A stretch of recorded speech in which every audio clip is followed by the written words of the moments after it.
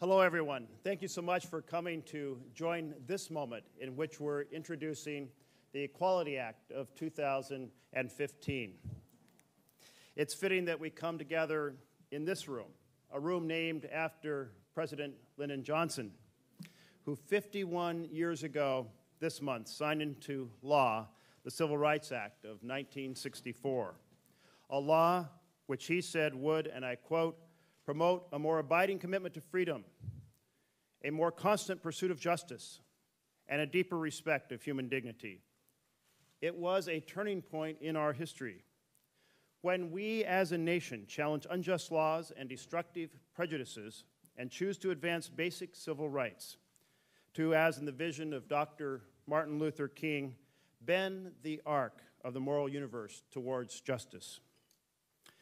For more than two centuries, this has been our nation's most sacred charge to build a more perfect union. Step by step, stride by stride, the barriers that once prevented people from enjoying the full measures of liberty and of dignity have broken down. But as you know, there's much more to be done to secure that reality for each and every American. In this country, we believe that all of us are created equal, that we have certain unalienable rights. Yet today, many of our citizens do not receive equal treatment, and they do not receive equal rights. Not because of anything that they have done, but because of who they are lesbian, gay, bisexual, transgender. There's no question that we have made great progress in advancing the rights of the LGBT community.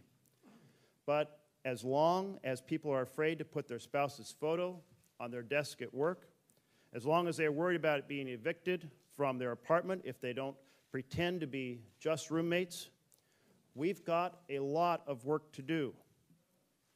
The harsh reality is that in far too many states, there are still no laws explicitly prohibiting discrimination against LGBT Americans. This means that while same sex couples can today legally marry, tomorrow they could lose their jobs, be kicked out of a restaurant, or turned down for a mortgage just because of their sexual orientation or gender identity. The time has come to right this wrong. The time has come for us as a nation to be bolder and better in ensuring full rights and full equality for our LGBT brothers and sisters. The comprehensive bipartisan legislation that we are presenting today, David Cicilline leading the House, its partnership with John Lewis, and in the Senate, partnership with Tammy Baldwin and Cory Booker, and more than a hundred other members of the House and Senate. This comprehensive bipartisan legislation that we will introduce together today will usher in uniform federal standards to protect all LGBT Americans from discrimination in housing, in workplaces, in schools, in public accommodations, and financial transactions. It will close long-standing gaps in legal protections against sex discrimination as well, ensuring that women are treated equally in all specs, aspects of their lives. Discrimination has no place in our nation's laws. If it's wrong in marriage, it is wrong in employment. If it's wrong in employment, it is wrong in housing. If it's wrong in housing, it's wrong in education and jury duty and mortgages. Put simply, people deserve to live free from fear, free from violence, and free from discrimination, regardless of who they are or whom they love. Writing these protections into law will bring us a significant stride forward in our nation's long march towards inclusion, equality, and opportunity, and will extend the full promise of America to every American. Here with us today, we have individuals who have experienced the discrimination firsthand, and they will be talking about that.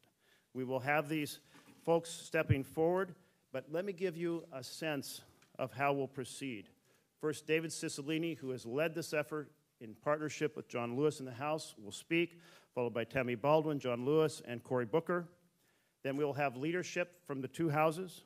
of the Democratic leadership, and then we'll turn to these families, and then we will turn to additional individuals, interests representing interest groups that have been key parts of preparing for this day, and other members of Congress who have been important voices and will make their voice heard today.